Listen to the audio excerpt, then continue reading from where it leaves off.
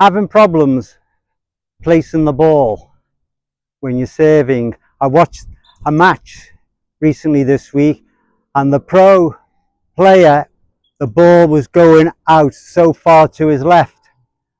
One way to cure it is by holding the ball.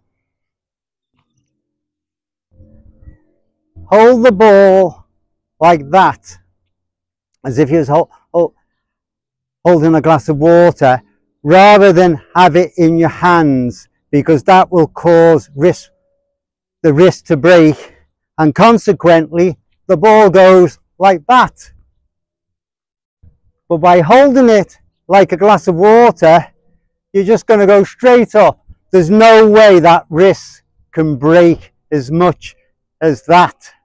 So by holding it as a glass of water, there's more chance of placing the ball in the area you want to hit.